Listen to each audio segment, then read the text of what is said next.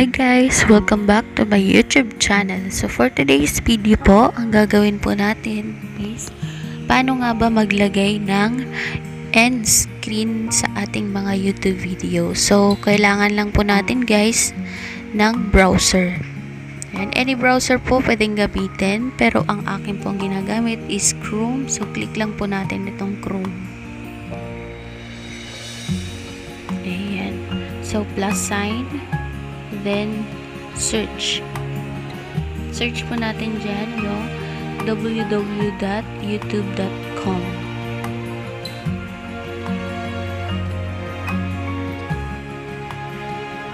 So, ayan guys, nandito na tayo. Ayan. So, click lang po natin guys yung 3 dots sa upper right side.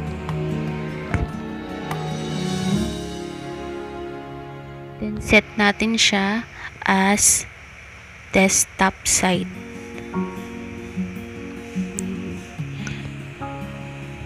So, andito na tayo guys.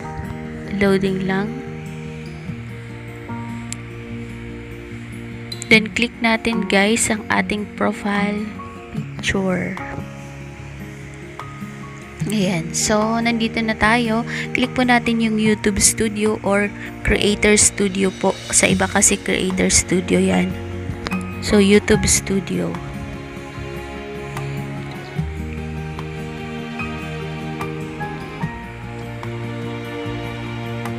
So, nandito na tayo sa ating channel dashboard. Makikita nyo dyan guys, nandyan yung ano, icon ng profile natin channel dashboard icon, video uh, settings, etc. So, click natin yung video icon. Nandito na tayo sa channel video natin, videos. Yan guys. So, pili tayo dyan ng ating lalagyan ng end screen. So, advisable naman siya guys sa lahat ng mga videos. Ayan. So, ito yung lalagyan natin. Our first Google Meeting. I-click lang po natin yung lapis. Ayan. Lapis. So, scroll down tayo. Scroll down. Ayan. Explore, explore muna tayo, guys. So, ayan, guys. May nakikita kayong end screen. So, click natin yung end screen. So, ayan na guys, ang ating makikita. May dalawang choice tayo dyan kung ano yung pipiliin natin na style or ano, position na gusto nating gawin sa ating magiging end screen.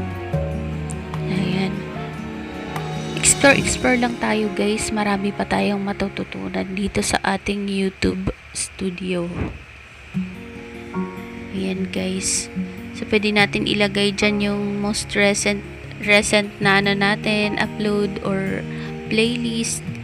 Pwede naman kayo mamili guys. Or di kaya yung best viewer. Pwede natin ilagay dyan sa ano natin end screen. Tapos yung bilog na yan, yun yung pinaka ano natin sa profile picture natin. Ayan guys. Explore, explore.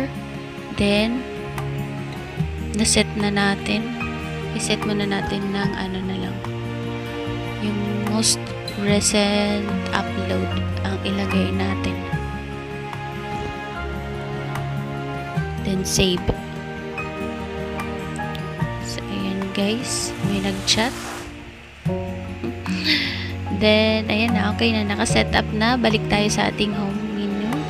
Then youtube. So ayan guys. Halimbawa nandito na tayo sa ating video Ayan na po yung end screen natin. So, andyan na po siya. So, yan guys. Thank you, thank you so much for watching. Sana po nakatulong po ito uli na aking panibagong tutorial. Maraming salamat po. God bless. Thank you for watching.